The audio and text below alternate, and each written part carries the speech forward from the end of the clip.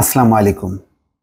গাজার পর রাফাতে হামলা চালাতে যখন উদ্ধত ইসরায়েলের প্রধানমন্ত্রী বেনিয়ামিন নেতানিয়াহু, তখন ইসরায়েলের দুটি সামরিক ঘাঁটিতে হামলা চালিয়েছে ইরাকি যোদ্ধারা।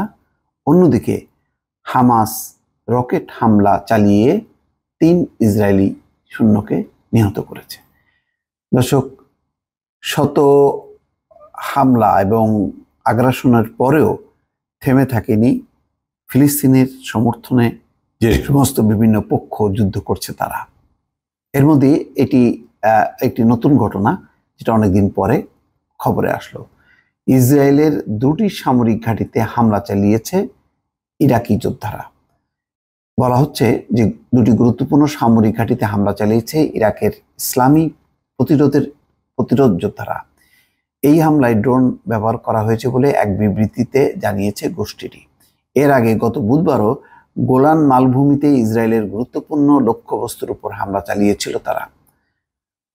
খবর প্রেস টিভির।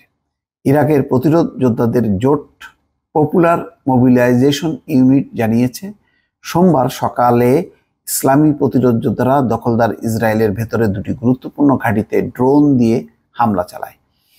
প্রথম হামলাটিতে অধিকৃত ভূমিতে দখলদার ইসরায়েলের একটি সামরিক স্থাপনাকে লক্ষ্য করা হয়েছে বলে জানিয়েছে গোষ্ঠীটি।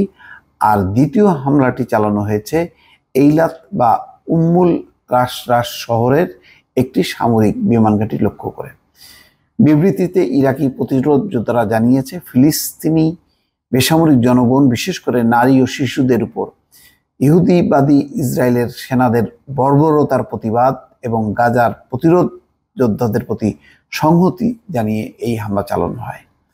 ওই জোট আরও বলেছে, তাদের আরও বলেছে, ইসরায়েলের গণহত্যা বন্ধ না হওয়া পর্যন্ত বর্ণবাদী শক্তির বিরুদ্ধে ইসরায়েলি প্রতিরোধ ইরাকি প্রতিরোধ যোদ্ধাদের এই হামলা চলতেই থাকবে।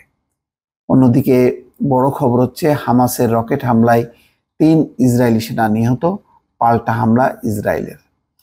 এই খবরে বলা হচ্ছে, গাজার দক্ষিণাঞ্চলে রাফা এলাকার কাছে রকেট হামলায় তিন ইসরায়েলি সেনা নিহত হয়েছেন।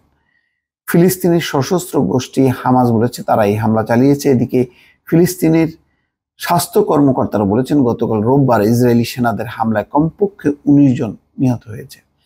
পাল্টা এই হামলার দায় নিয়েছে ইসরায়েল। মিশরের রাজধানী কায়রোতে গাজায় যুদ্ধবিরতি নিয়ে আলোচনার মধ্যেই এই ধরনের পাল্টাপাল্টি হামলার ঘটনা ঘটল। ইসরায়েলি সেনাবাহিনী বলেছে, গাজা সীমান্তবর্তী ইসরায়েলের দক্ষিণাঞ্চলে কেরেম সলম এলাকায় দশটি রকেট হামলা চালানো হয়েছে। হামলার পর ত্রাণবাহী ট্রাক ঢোকা বন্ধ করে দেওয়া হয়েছে। অন্য ক্রসিংগুলো খোলা রয়েছে। হামাসের সশস্ত্র শাখা বলেছে, ক্রসিংয়ে ইসরায়েলি সেনাবাহিনীর একটি ঘাঁটিতে তারা রকেট হামলা চালিয়েছে। তবে কোথা থেকে এই হামলা চালানো হয়েছে তা নিশ্চিত করেনি হামাসের ওই সশস্ত্র শাখা। হামাসের একটি সূত্র গণমাধ্যমকে বলছে, বাণিজ্যিক কাজে ব্যবহৃত এই ক্রসিং তাদের লক্ষ্যবস্তু ছিল না। মিশর সীমান্তের কাছে রাফা এলাকায় দশ লাখের বেশি ফিলিস্তিন আশ্রয় নিয়েছে। হামাসের এই হামলার কিছুক্ষণ পরেই রাফা এলাকার একটি বাড়িতে ইসরায়েলি বিমান হামলায় তিনজন নিহত ও কয়েক, বেশ কয়েকজন আহত হয়েছে। পাল্টাই হামলার কথা স্বীকার করেছে ইসরায়েলি বাহিনী। হামাস হামলায় ঢাল হিসেবে বেসামরিক নাগরিকদের ব্যবহার করার কথা অস্বীকার করেছে। দর্শক, এই হচ্ছে পারস্পরিক পরিস্থিতি।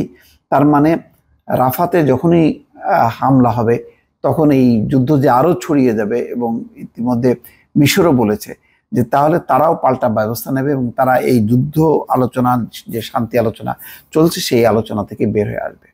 তার মানে ওইদিকে ইরাক এইদিকে মিশর এইদিকে হামাস সব মিলিয়ে পরিস্থিতি খুবই জটিল হচ্ছে। এখন এটি সমাধান হবে কিনা সেটি অনেকখানি নির্ভর করছে মার্কিন যুক্তরাষ্ট্র এবং ইসরায়েলের ভালো থাকবেন। আল্লাহ হাফেজ।